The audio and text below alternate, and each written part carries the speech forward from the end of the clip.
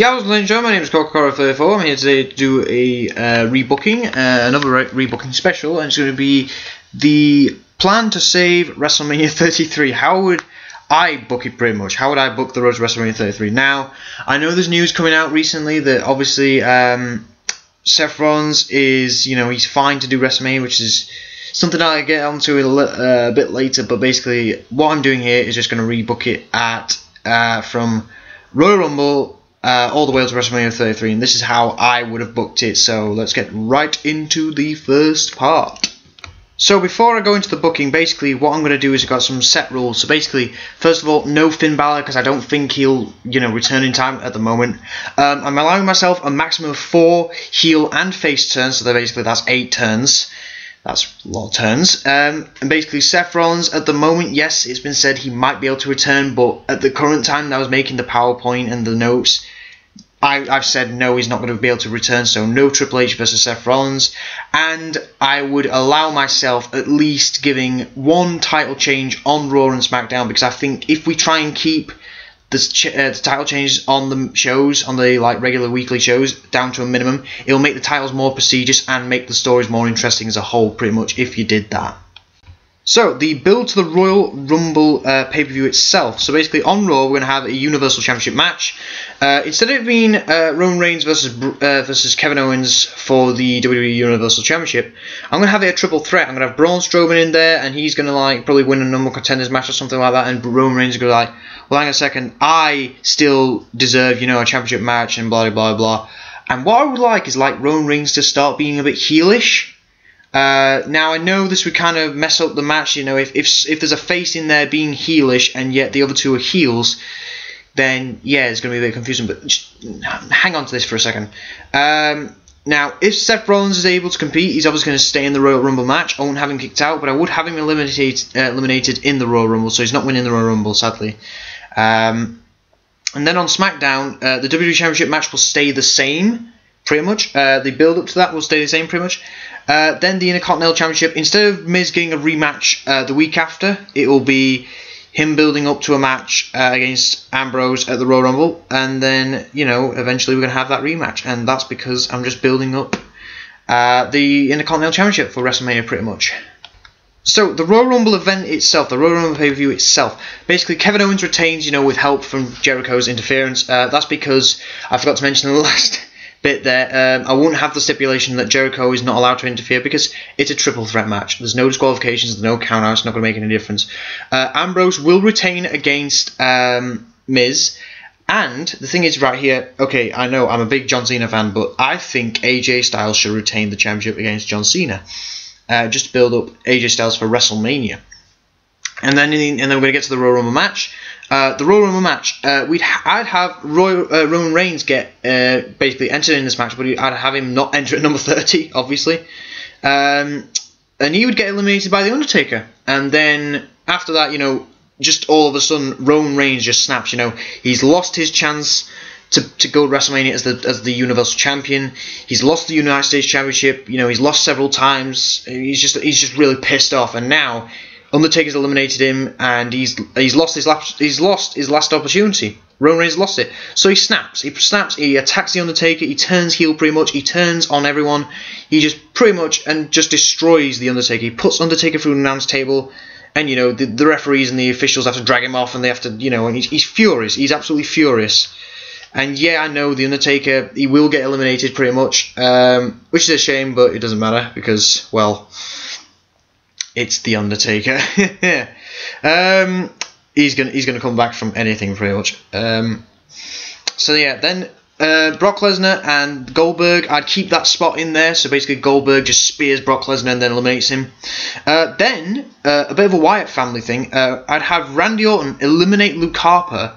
But then instantly turn around and Bray Wyatt's there, so they, they stare at each other pretty much. They they they they, they, they lock their eyes are locked. So then, pretty much, basically, what we what I've done is that Randy Orton basically offers himself up to Bray Wyatt and allows Bray Wyatt to eliminate him. You know, just planting the seeds there. You know, stuff like that. And yeah, I know in in real life now, Rand, Randy Orton's obviously won the Royal Rumble, but, but just just go with it. just go with it. um, And then I'd have Seth Rollins still be in the Royal Rumble match, but then Triple H enters the Royal Rumble. Uh, I, well, I wouldn't have Triple H enter as you know, as a as a participant in the Royal Rumble, I'd actually have him just you know randomly come in and screw Seth Rollins out of the chance to go to WrestleMania, and you know Triple H scampers to the back, and maybe Seth Rollins can you know get attacked by someone. I don't know. Maybe maybe even Triple H just knocks him out with like a sledgehammer blow or something like that. That'd be really good. Uh, then it comes down to the final four. And I have Chris Jericho, who's the Iron Man in this match because he's he started off at number two in real life, and I think I'd keep that. Um, you got Bray Wyatt, you got Braun Strowman, you got The Miz, and the spots are basically Chris Jericho and Bray Wyatt. They eliminate Braun Strowman uh, purely because I want to maybe set up Braun Strowman versus Bray Wyatt in the future. That'd be really good. Uh, then Bray Wyatt eliminates Chris Jericho. Yeah, shame, shame, shame. And then The Miz eliminates uh, Bray Wyatt Miz wins the Royal Rumble match, pretty much. He wins it all. And I think because Miz has been there for a long time, I think he's been doing well in the last year. I think he should be rewarded with a big win like this. And you know, I think I think he could go in like a major rivalry. I think he. I mean, we saw it with Dolph Ziggler. He can go just just brilliantly. He can he can run through anybody with such you know such great promos and you know just great match drama. You know, I think giving him this kind of opportunity will really elevate his character and elevate him to a higher status, in my opinion. So that's why I made The Miz pretty much win the Royal Rumble. So up next we've got the build up to uh, the Elimination Chamber, so SmackDown exclusive pay per view, and the Elimination Chamber match will be AJ Styles, the champion, uh, going against John Cena versus Dolph Ziggler versus Randy Orton versus Bray Wyatt versus Dean Ambrose. So similar, but I've left a, I've left uh, I've replaced a couple of people uh, to build the Royal Rumble up, uh, not the Royal Rumble, uh, to build the story of it.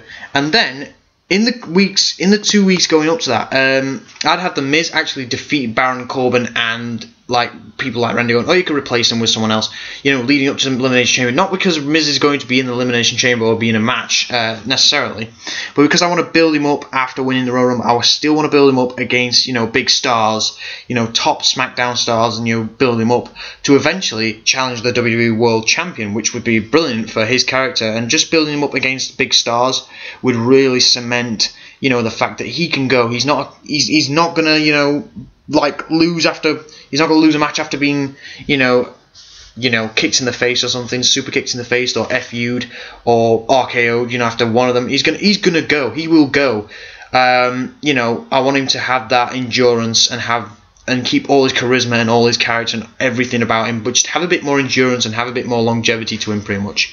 And that's why I wanted to put him in these matches against people like that, and you know, have him win in matches such as this. So the Elimination Chamber pay per view itself. So basically, I won't have Naomi win the championship, uh, win the women's SmackDown championship. Um, yeah, I know, sadly, but I'd like to keep the title on Alexa Bliss for WrestleMania, and I know she's recently won it back. Uh, but I just, I just feel like if you keep the title on her, even you know, all the way to WrestleMania in one long reign, then it will legitimize the championship. Um, in the Elimination Chamber match uh, itself, Orton turns on Bray Wyatt. You know, he, he tries to offer himself, and then just all of a sudden RKO. And yeah, I know it's kind of burying Bray Wyatt, but I think in the end, I'll, I'll show you why I've, I've like done this. Well, It's like Randy Orton he finally just turns on Bray Wyatt, just finally goes ballistic and mental, and you know he just destroys Bray Wyatt and basically eliminates him pretty much.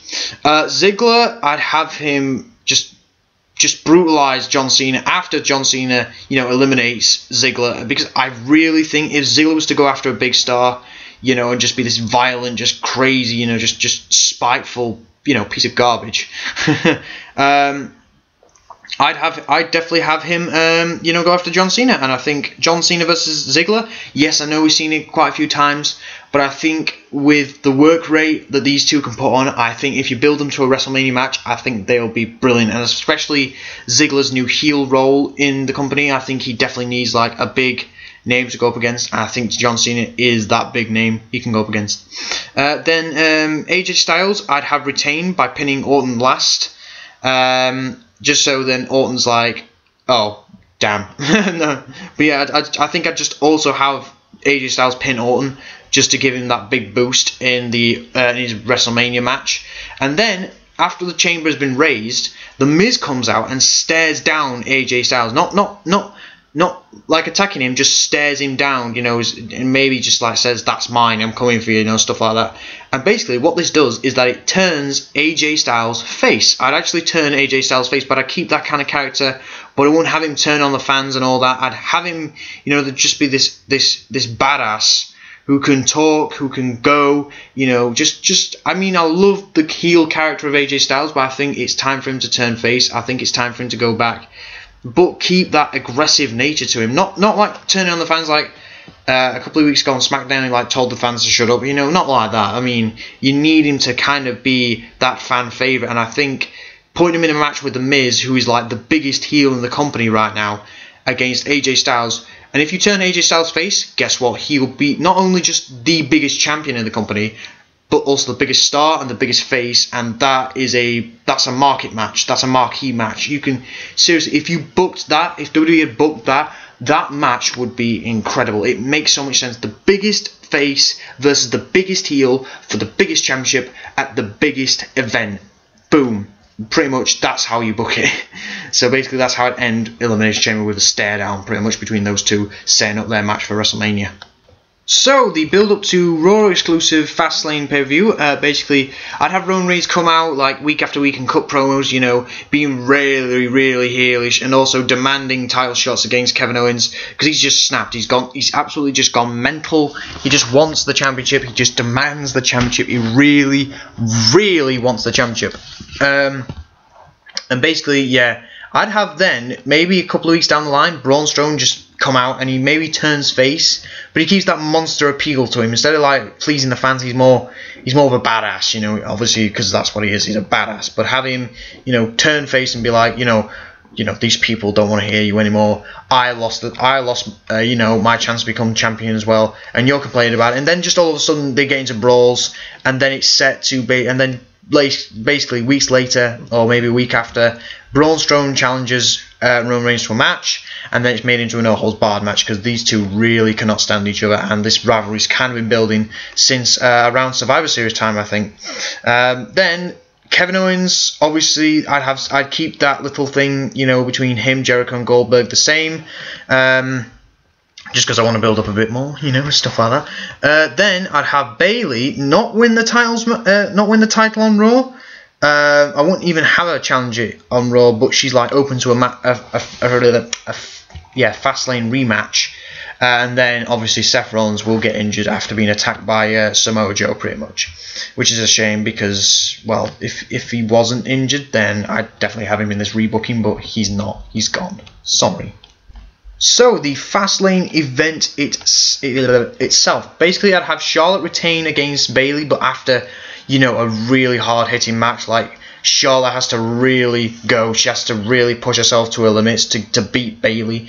Um, and then I'd have Roman Reigns, you know, just brutally beat down like Strowman with like maybe yeah obviously I've said here with the hitting two spears one through a, a, a table and then basically I'd have him just brutalizing you know with chairs stairs anything you just just you know I wouldn't have him completely bury Strowman but I'd have Roman be dominant like in the last part of the match, you know, absolutely just destroy Strowman.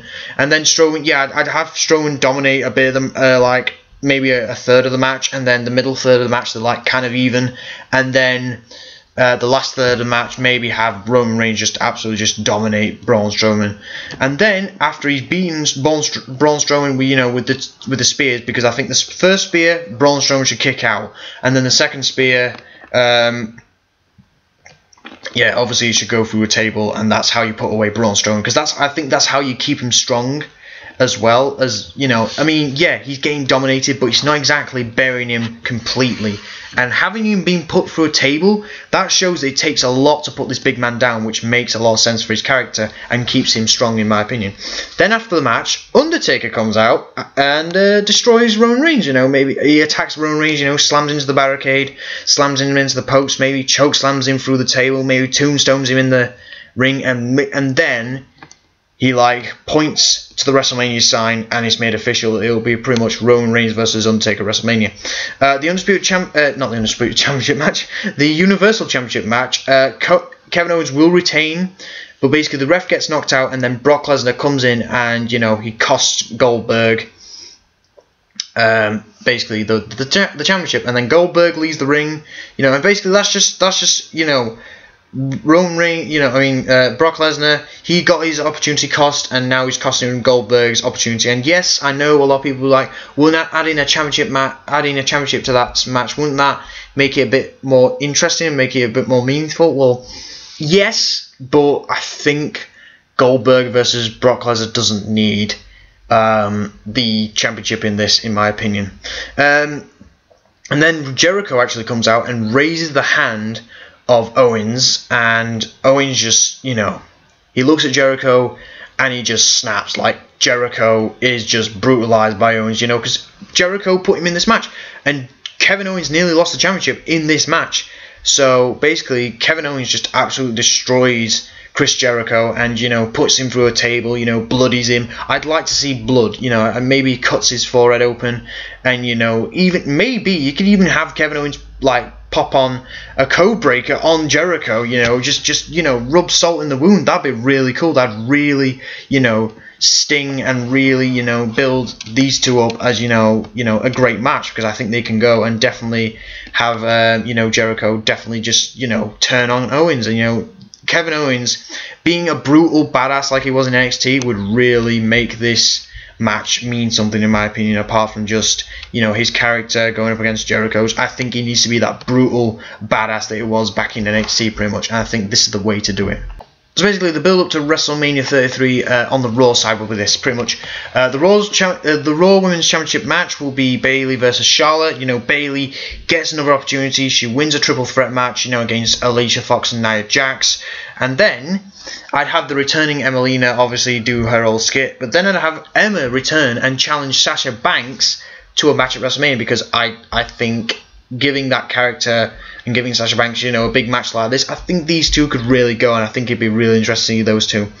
Uh, Undertaker obviously laid out the challenge for Roman Reigns. Roman Reigns challenges the Undertaker to a career threatening, threatening match at WrestleMania, and basically on the following week, Undertaker accepts pretty much. Um, then I'd have Chris Jericho actually defend his United States Championship against Cesaro and lose. Um, and that's because um, I'd, I'd have like maybe a skip a segment where Stephanie McMahon just says, you know, Jer- Jericho, you need to defend this championship because I'm, I'm, I might have to strip you if you don't. You've, you've not defended it in like so many days or something like that. And Jericho does, but he's just he's just too beaten up from the from the attack from Kevin Owens the previous night, and he loses. He loses the United States Championship, but it gives Cesaro, you know, a big push, a big championship again.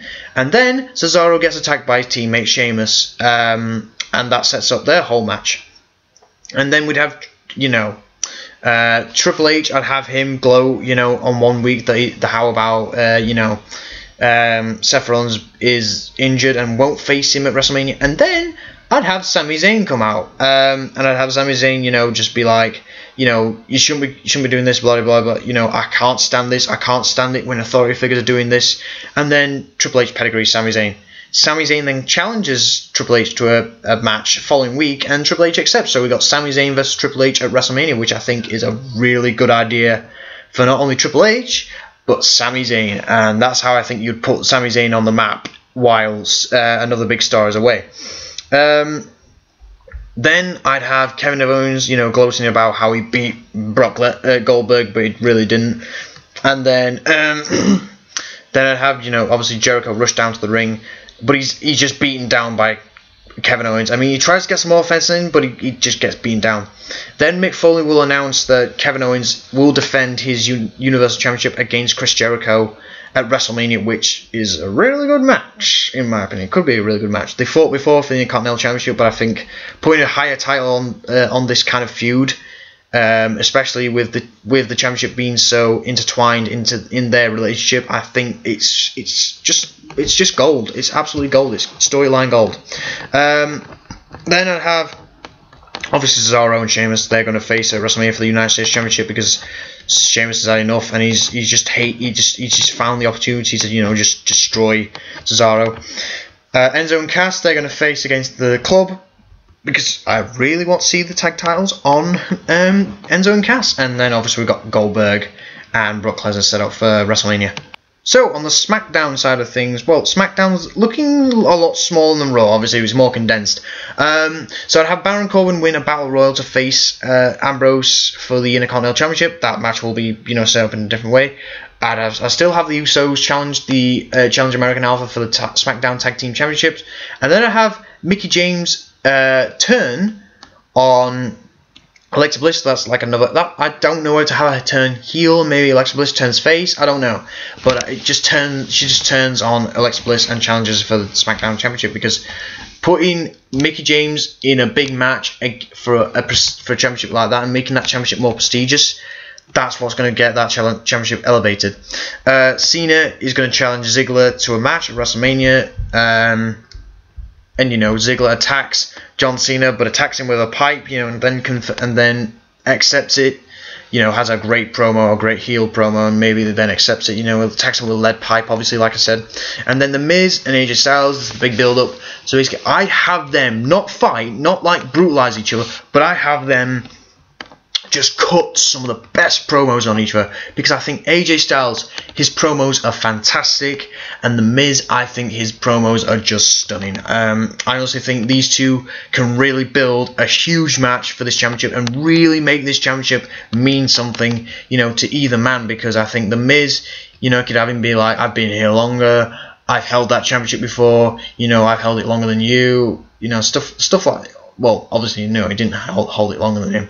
Uh, you know, have him just really hammer home that, you know, the Miz has been here longer. He knows what he's doing. He knows, you know, stuff like that. It's just, it's just building up such a good match. I think these two cutting promos on each other. This is how you should build the match, uh, and definitely build it for this championship. Make the championship mean something. You've got the biggest heel versus the biggest face, like I've said, for the biggest championship at the biggest event. Boom. That's how you make your marquee match. Alright, boys and girls, we're here, finally here at WrestleMania 33. So basically, uh, Big Show is going to beat Shaq. Uh, I think he definitely deserves it. Uh, Samoa Joe, I would have him win the uh, Andre uh, the Giant Memorial Battle Royal. Enzo and Cass will win the Raw Tag Team Championships. Uh, American Alpha will retain. Sasha Banks, I think, should beat Emma. And basically, this is all on the pre-show. And then the main show, the opening match, Ziggler should beat um, Cena, you know, to push that heel character, to push that really big heel character. Neville, I think he should definitely retain the Cruiserweight Championship in a multi-man ladder match because putting the Cruiserweights in a championship ladder match like this will really, you know, big up the Cruiserweight division. Definitely got to do that. Um, Baron Corbin, yeah, I think he, I think he'll beat uh, Ambrose for the uh, Intercontinental Championship because I think he'll have a great WrestleMania run then. Because WrestleMania 32, he'll have won the Andre Memorial Battle Royal. WrestleMania 33, it will have won won the you know the biggest championships in WWE, the the Workhorse Championship, the Intercontinental Championship, and that'll be brilliant on his resume. Um, Alexa Bliss, I feel like should retain against Mickie James.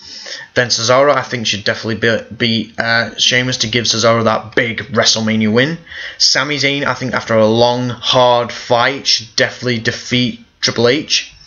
Bayley, I think, after you know, after months and months of chasing the championship, should definitely win it at WrestleMania and beat Charlotte's pay-per-view streak. Brock Lesnar obviously beats Goldberg, you know, in like a, a really stiff, really hard-hitting match. AJ Styles, I think after you know putting in so much against the Miz, and you know the Miz takes AJ limit uh, AJ Styles to his limits, and you know I think AJ Styles should definitely re- retain. Kevin Owens again, he's going to take Chris Jericho, Jer- Jericho to his limits, and then Kevin Owens going to get taken to his limits, and you know he should retain against Chris Jericho.